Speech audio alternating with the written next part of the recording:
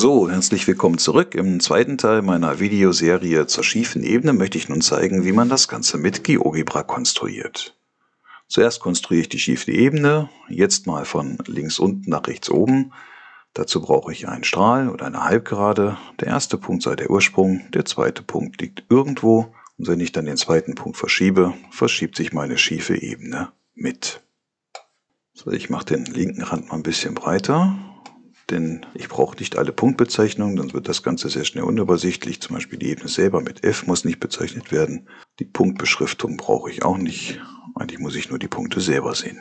So, nachdem nun die Ebene da ist, möchte ich gerne ein Objekt haben, das sich auf der Ebene bewegen kann. Immer wieder den Kreis, so wie bei der Anzeichnung. Das geht allerdings nicht ganz so einfach, äh, dass ich sagen kann, bitte mal ein Kreis mit der Randlinie auf der Ebene. Hier muss ich ein bisschen tricksen. Am besten ich zeige es einfach mal, wie es geht. Folgendermaßen, ich definiere einen Kreis mit Mittelpunkt und Radius. Den Mittelpunkt lege ich auf die schiefe Ebene und den Radius wähle ich, sagen wir mal, Längeneinheit 1.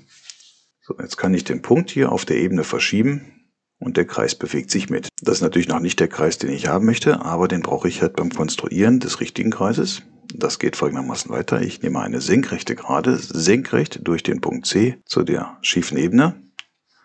Danach Schnittpunkt von Kreis mit der senkrechten. So, und das meiste von dem, was ich hier sehe, brauche ich jetzt nicht mehr. Deswegen mache ich es unsichtbar. Rechte Maustaste, den Kreis zum Beispiel, Objekt anzeigen weg. Die senkrechte weg. Den Punkt D brauche ich auch nicht.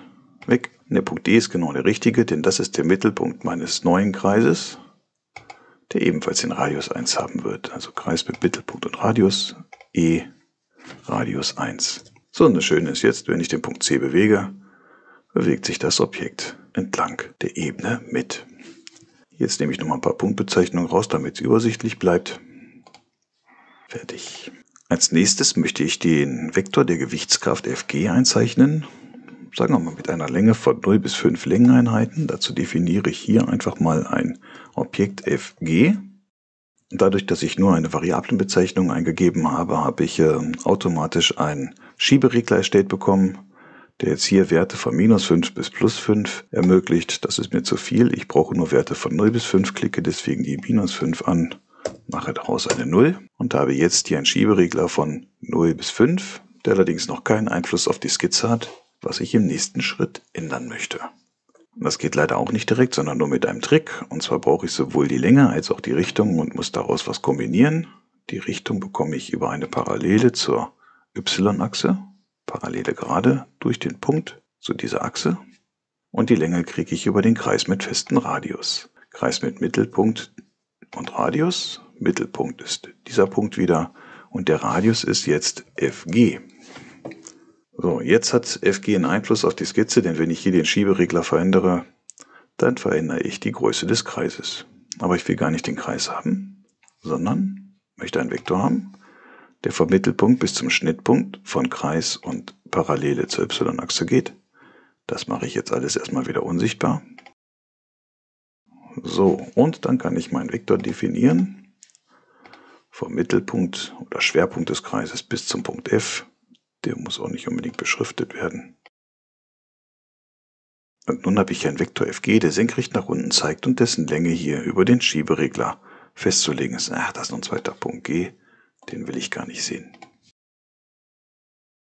Und ich kann das ganze Objekt auch verschieben, inklusive des Schwerpunktvektors entlang der schiefen Ebene ebenso wie ich die schiefe Ebene in der Neigung verändern kann.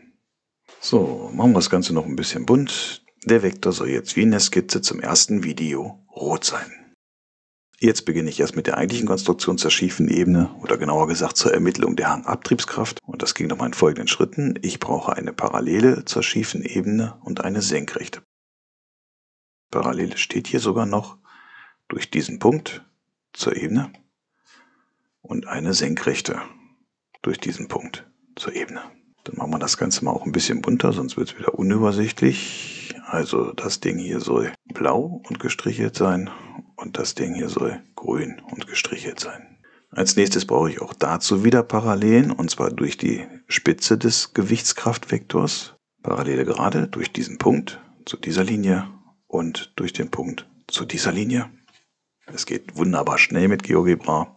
So, jetzt möchte ich das Ganze auch wieder in den passenden Farben haben. diese Linie hier blau und diese Linie hier grün. Und dann weiß ich auch schon, bis wohin meine Vektoren gehen. Halt, die Schnittpunkte fehlen noch. Erstmal schneide bitte diese Linie mit dieser Linie und diese Linie mit dieser Linie. Und schon kann ich die entsprechenden Teilkraftvektoren einzeichnen. Vektor 1 geht vom Schwerpunkt zum Punkt H, heißt der hier noch, und der Normalkraftvektor geht vom Schwerpunkt bis zum Punkt I. Ich mache die Vektoren mal ein bisschen dicker und auch farblich hervorgehoben, dann kann man es besser erkennen. So, nehmen wir diesen Vektor hier, der ist blau und soll ein bisschen dicker sein. Dieser Vektor hier ist grün und soll ein bisschen dicker sein. Dieser Vektor hier ist rot, ist er schon, soll auch ein bisschen dicker sein. Jetzt haben wir hier wieder diese ganzen Punktbezeichnungen, die Beschriftung brauche ich nicht. Nun möchte ich noch ein bisschen physikalisch mit meiner Konstruktion rumspielen. Das heißt, ich würde auch gerne die Vektorbezeichnung haben. Ich benenne dazu zuerst die Vektoren um. Der Vektor v ist der Vektor der Abtriebskraft und dann nenne ich ihn auch entsprechend so f mit Index h. Ich kann das hier ein bisschen verschieben. Und der Vektor w ist der Vektor der Normalkraft, also f in. Das ist die Kraft, mit der das Objekt senkrecht gegen die Ebene drückt. So, jetzt habe ich hier einen kleinen Fehler gemacht. Ich habe den Kreisradius mit fg schon bezeichnet, aber das soll ja eigentlich der rote Vektor werden. Das heißt, ich benenne das nochmal hier um in Gewichtskraft oder sowas. Und jetzt suche ich den dazu passenden Vektor. Das müsste hier der Vektor u sein. Den kann ich jetzt umbenennen in fg. Und dann wird das auch passend angezeigt. Gut. So, jetzt habe ich ganz viel zur schiefen Ebene erklärt und vorgeführt. An dieser Stelle übergebe ich das Zepter an euch. Jetzt könnt ihr damit spielen, ausprobieren, was weiß ich, zum Beispiel das Objekt entlang der Ebene verschieben oder die Gewichtskraft kleiner und größer werden lassen. Aber am interessantesten ist natürlich der Fall, was passiert, wenn die Ebene flacher oder steiler wird. Besonders interessant sind die Grenzfälle, das heißt, wenn der Neigungswinkel gegen 0 Grad geht oder gegen 90 Grad geht. Aber das kannst du selber rausfinden mit deiner Konstruktion. Viel Spaß dabei, macht's gut. Bis zum nächsten Mal. Tschüss.